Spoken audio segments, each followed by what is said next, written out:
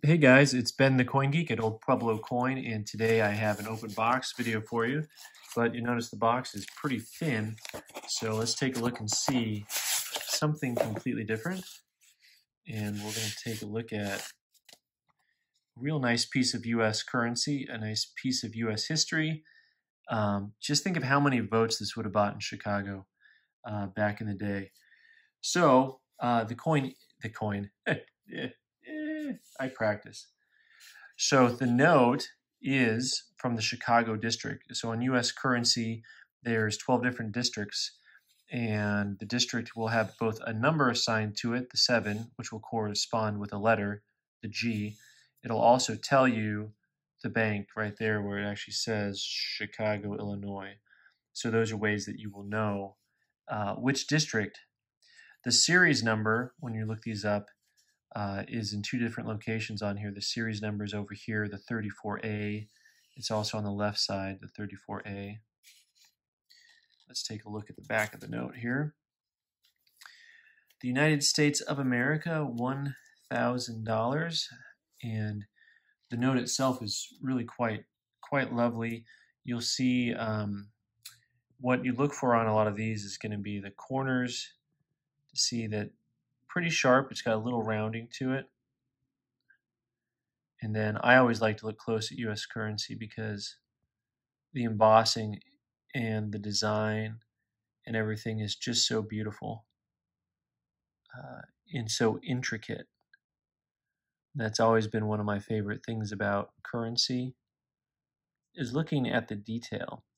And most of it is things that you don't see usually when you uh, just look at it from a distance. You'll notice something that the paper here isn't white necessarily. It has these little red and blue fibers in it. That was an anti-counterfeiting device, and it is something to look for in your older currency. You look for that paper.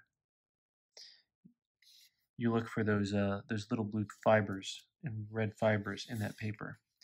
So uh, PMG, which is NGC's paper money uh, certification company, called this a choice about uncirculated note. Uh, they did not feel that it warranted being called uh, being called uncirculated. Uh, it's a really really tough grade. Uh, notes are really hard to grade between uh, almost uncirculated and uncirculated uh, especially this note, which I, I honestly thought would come back uncirculated because there weren't really any folds to be seen in it. Uh, you know, but there's not a big difference in price between something like an AU58 and an MS60. Either way, it's about a 25 or 2600 dollar note. There's our buddy Grover Cleveland, looking quite dapper. And I just want to point out right at the top, you know, just some of the fibers, how they stick out on the note at the edge. And uh, that's that's to me is a sign that the note has not been not been played with in any way.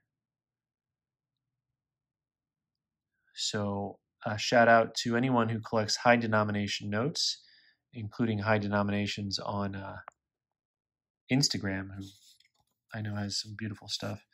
I don't get these notes in that frequently anymore. And uh, it's just a lovely note. I thought I'd share it with you. All right, I'm Ben the Coin Geek at Old Pueblo Coin. You can subscribe by clicking on the button up in the corner and watch more videos on the right side of the screen. Thanks.